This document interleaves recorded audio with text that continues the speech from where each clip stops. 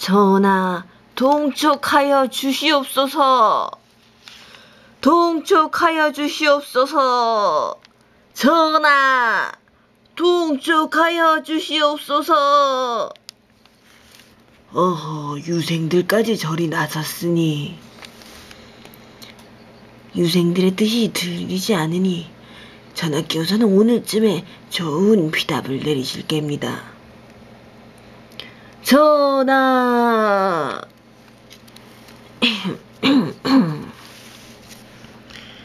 유생들의 뜻이 정녕 이러하단 말인가?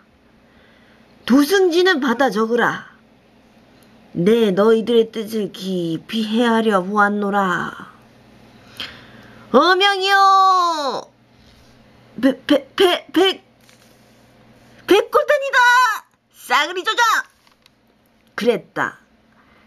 주근이도 놀라 벌떡 일어나게, 난, 일어나게 한 자들이 있었으니 그 이름 백골단.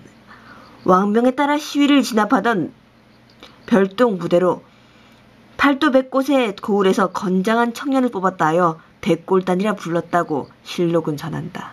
점점점. 설마 이렇진 않았겠죠. 어탄카 57화 비답이었습니다.